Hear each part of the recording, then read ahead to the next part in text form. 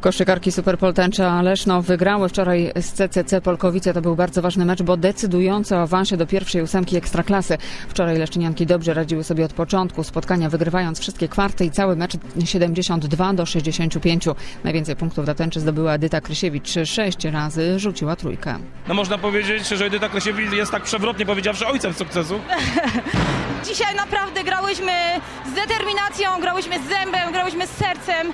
Czasami brakowało nam tego, bo grała jedna lub dwie, a dzisiaj grał cały zespół naprawdę z wielkim zaangażowaniem, a ławka żyła jak nigdy. Kapitan leszczyńskiego zespołu Ola Drzewińska, łzy szczęścia. Dokładnie łzy szczęścia, bo czekałyśmy na tak dobrą grę cały sezon i myślę, że kibice też, e, wszyscy działacze, wszyscy, którzy nas wspierali. E, myślę, że było warto i dostarczyłyśmy naszym kibicom tyle emocji, że naprawdę to jest niesłychane. Jak mobilizowałyście się przed tym meczem?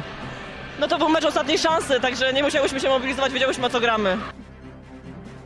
A pierwszy mecz fazy playoff nasze koszykarki rozegrają już w najbliższą sobotę z Lotosem w Gdyni.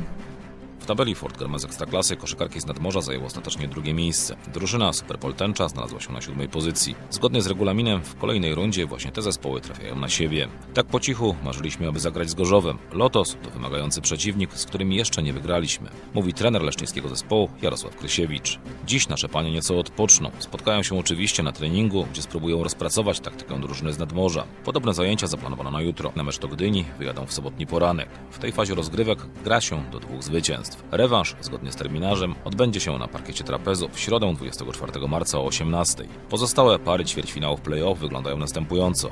AZS Gorzów, Row Rybnik, CCC Polkowice, Wisła Kraków i Energa Toruń, Odra Brzeg. W pierwszych pojedynkach o utrzymanie się, zaplanowanych również na najbliższą sobotę, na pierwszy ogień będziemy mieli bratobójczy pojedynek w Poznaniu pomiędzy AZS-em a Muksem. Z kolei w Bydgoszczy miejscowy Artego podejmować będzie ŁKS Łódź. Leszno, Michał Konieczny.